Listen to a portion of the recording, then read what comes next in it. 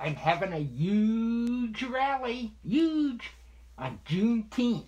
That's right, Tulsa, Oklahoma. Yes, we're going to have all the great stuff the KKK, Confederate flags, racism gone wild.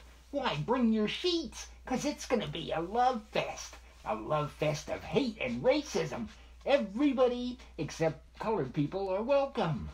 Join us for Juneteenth in Tulsa, Oklahoma.